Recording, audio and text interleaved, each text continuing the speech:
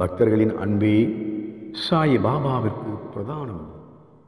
பாபா தன் பக்தர்களின் அன்பையே எப்போதும் விரும்புவார். நீ விரும்பியது இன்று வரை உன் வாழ்க்கையில் கிடைக்காமல் போயிருக்கலாம்.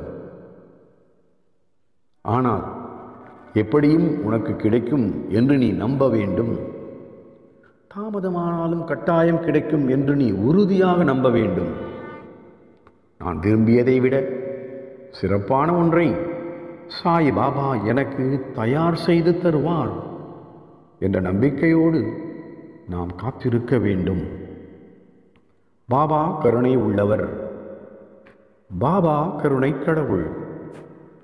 ஆதியும் அவரே அந்தமும் அவரே.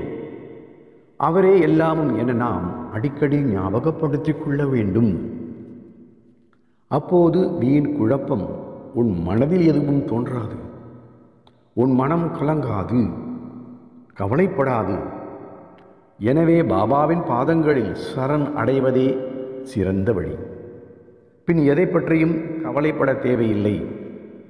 பாபா தன் பக்தர்களுக்கு வேண்டியதை கொடுத்து நலமோடு வாழ வைப்பார். நம்பிக்கையோடு இரு. கட்டாயம் அவ்வாறே உன் வாழ்க்கையில் நடக்கும். நீ வளமோடு வாழ்வாய். பாபா ஒருபோதும் உன்னை கைவிட மாட்டார். சாய் பாபா இருக்க பயம் எதற்கு? கவலை எதற்கு? பாபா சரணம். ஓ சாய்